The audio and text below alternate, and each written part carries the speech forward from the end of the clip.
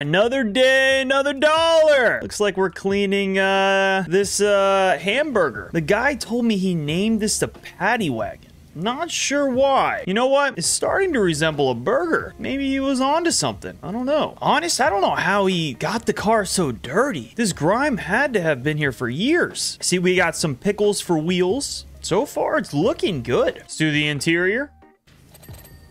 Nice little detail. Clean the seat. Is that a spatula? All right. It looks like the key.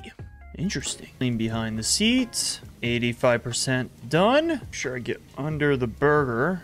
Open the hood. Look at that. This fryer hasn't been cleaned in years. Grab my stool.